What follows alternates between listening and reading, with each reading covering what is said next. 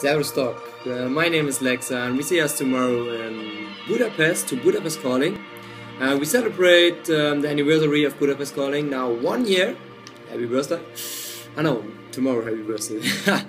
um, I think we will be a cool party. I have many cool new stuff. Um, it's my first time in Budapest, so I'm very very excited. But that's a problem for me to make the party in a big place and to rock with you tomorrow. And yes, Sziasztok!